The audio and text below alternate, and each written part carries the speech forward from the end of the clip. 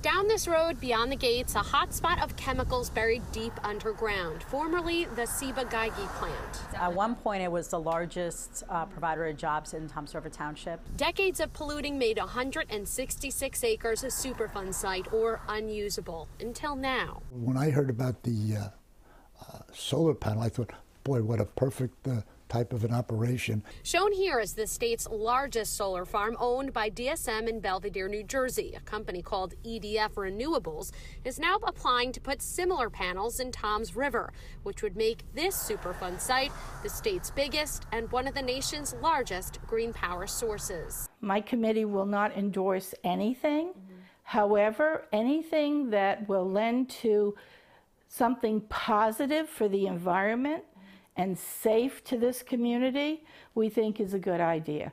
Linda Gillick is chair of the Citizens Action Committee of a childhood cancer cluster. It formed decades ago after more than 200 children were diagnosed in Toms River, including Gillick's son. But this is not the only site where carcinogens have been found. I can't say definitively. You have to understand that in our drinking water, they identified over six to 700 different chemicals.